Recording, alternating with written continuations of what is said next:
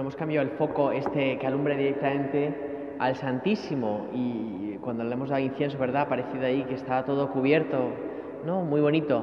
Bueno, el, humo siempre, ¿verdad? En la Biblia, las nubes, el humo, ha representado esa presencia de Dios porque es como un misterio, ¿verdad? Que se ve y oculta a la vez, ¿no?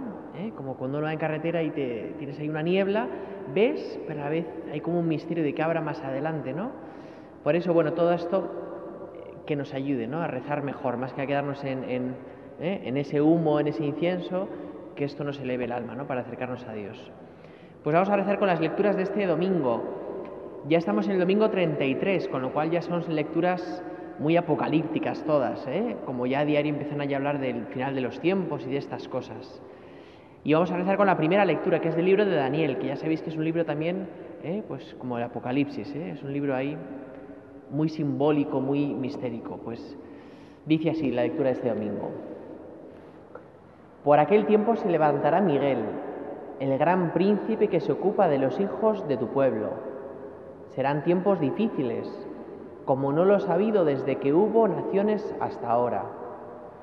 Entonces se salvará tu pueblo, todos los que se encuentran inscritos en el libro. Muchos de los que duermen en el polvo de la tierra despertarán, unos para vida eterna, otros para vergüenza e ignominia perpetua. Los sabios brillarán como el fulgor del firmamento, y los que enseñaron a muchos la justicia como las estrellas por toda la eternidad. Pues como veis es un libro muy simbólico, ¿verdad? Pues bueno, a ver si nos ayuda a rezar estas imágenes que presenta este texto de Daniel. Primero empieza diciendo, por aquel tiempo se levantará Miguel, el arcángel Miguel, el arcángel que se ocupa de tu pueblo, ¿eh? dice esta primera línea. Por aquel tiempo. ¿Cuándo será esto? No sé si alguna vez estás para pensarlo. ¿Cuándo será el final de los tiempos? Es una pregunta que se han hecho muchas generaciones. ¿eh? Oye, ¿cuándo llegar al final de los tiempos. En tiempo de los primeros cristianos, ¿verdad? San Pablo eh, tiene que corregir a la gente porque están muy obsesionadas con este final de los tiempos, porque creían que iba a ser ya mismo. Y entonces dejaban sus oficios y todo para prepararse para este final de los tiempos. ¿Cuándo será? Es algo que hay que preguntarse. Y también la de cada uno, ¿verdad? Porque dices, el final de los tiempos no sé cuándo será, pero ¿cuándo será mi final? Pues hay que prepararse, ¿verdad? Angustia o esperanza. ¿Qué provoca en nosotros, verdad? Pensar en este final. Angustia en el sentido de que queremos vivir todavía mucho más, nos falta hacer cosas, nos da miedo dejar a, los seres queridos aquí en la tierra, o nos causa esperanza ¿eh? de por fin encontrarnos contigo, Señor de por fin disfrutar de la vida eterna, de por fin poder ayudar de un modo más pleno a los que tenemos aquí en la tierra. Por aquel tiempo. ¿eh? Serán tiempos difíciles, como no los ha habido desde que hubo naciones hasta ahora. ¿Eh? Al final de los tiempos, dice, serán tiempos difíciles. Cuando uno lee estas frases, hay mucha gente que las intenta interpretar y dice, ya está, ahora estamos al final de los tiempos. Porque fíjate que me va la sociedad, cómo se está deteriorando, entonces siempre todo el mundo piensa que su momento es el peor de toda la historia de la humanidad. Y no es así. ¿eh? Basta solo que uno coja un poquito de libro de historia para darse cuenta pues que ha habido tiempos muy malos, siempre, ¿no? Uno dice, no, no, espere, los de ahora es que son muy malos. Bueno, pues mira, España, vete a la guerra civil, a ver qué te parece mejor. O es que Europa está fatal, bueno, pues vete a la guerra mundial, a ver qué te parecía. O en tiempos de los romanos, ¿verdad? Cuando decayó el imperio. No sé, siempre ha habido tiempos malos, ¿no? Y para los cristianos también ha habido mucho tiempo de persecución durante muchos años. Y ahora, siglo XXI, pues sigue habiendo persecución en lugares del mundo. Pues Daniel nos advierte, ¿verdad? Serán tiempos difíciles, como no los ha habido nunca. Es decir, si uno lo piensa fríamente, dice, entonces al final de los tiempos las cosas serán peor todavía. Es un poco desesperante, ¿eh? ¿No? Es como si te dicen, eh, tu empresa seguro que quiebra. No va a durar hasta el final de los tiempos, va a quebrarse al final. Pues un poco desalentador, ¿verdad? Pero sin embargo, si esto está profetizado, significa que ni siquiera al fracaso tenemos que tener miedo. Ni siquiera eh, si viésemos, ¿no? Yo qué sé, que la iglesia en España desaparece, pues ni siquiera entonces hay que desesperarse, porque eso manifiesta que está más cerca el reino de los cielos. Manifiesta que está más cerca el día en que Cristo por fin reine para siempre. Con lo cual es curioso, ¿no? Que nos hable de, épocas malas, porque significa que un cristiano siempre puede ser optimista, incluso cuando todo va fatal. El optimismo cristiano nunca lo podemos perder. ¿Y por qué?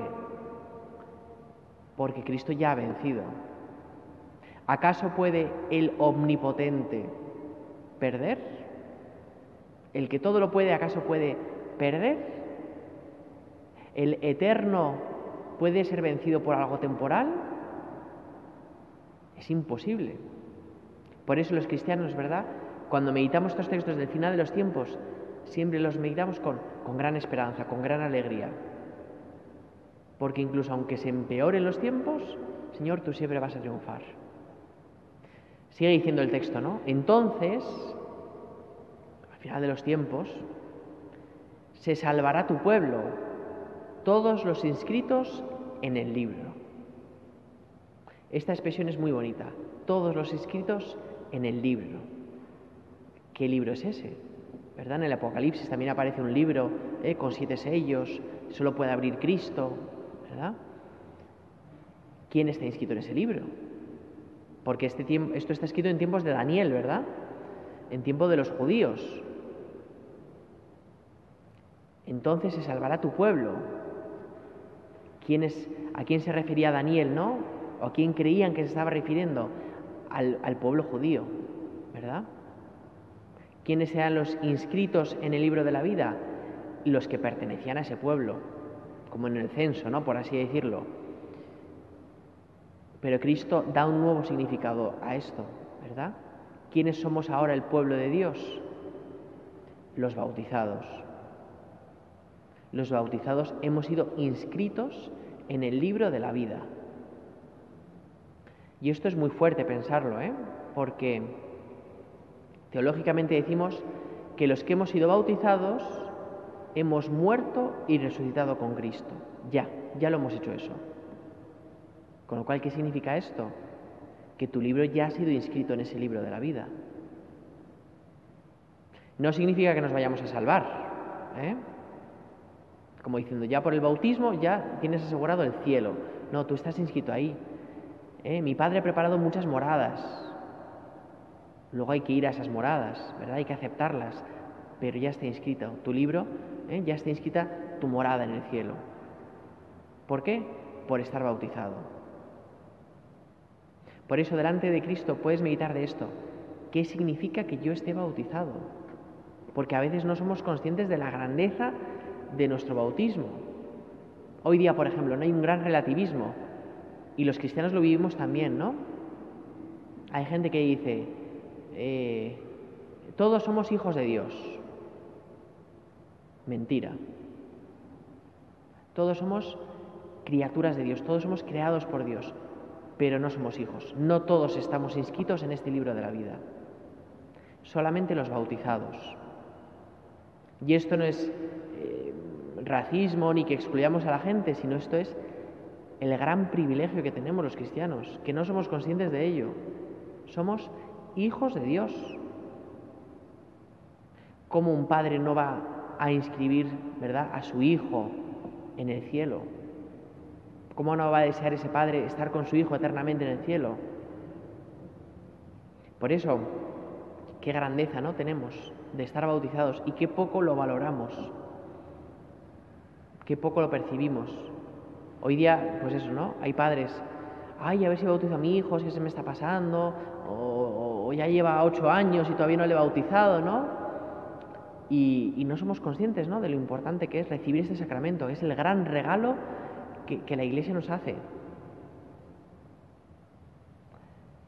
Sigue diciendo ¿no? este texto, ¿eh? otra cosa simbólica, dice, muchos de los que duermen en el polvo despertarán, unos para la vida eterna, otros para la ignominia perpetua. Es otra imagen, ¿verdad? Donde quiere decir que resucitar es despertar. ¿eh? Esto es bonito, ¿verdad? Morimos para despertarnos. Y, mm, ¿Y esto qué significa esta expresión? Pues lo que quiere decir es que la vida en la tierra es como un sueño, es algo pasajero, es algo que en el fondo es mentira. La auténtica vida está en el cielo, ¿verdad? Hace poco eh, oí un fragmento, yo no veo la tele, ¿eh? pero eh, lo decía Munilla en sus charlas que yo le oigo, y él decía, puso un trozo de, del hormiguero, que no sé quién es el presentador, Pablo Moto, bueno, este, ¿no? Vale. Bueno, pues puso un trozo de él donde explicaba la vida eterna, alguien no creyente, ¿no? Y decía, qué aburrimiento la vida eterna. No poder crear cosas nuevas, no poder tener sueños a realizar porque ya todo está realizado, no poder viajar porque ya lo has visto todo, no poder, qué desgracia. E incluso decía, qué aburrimiento no poder hacer el mal con lo divertido que es.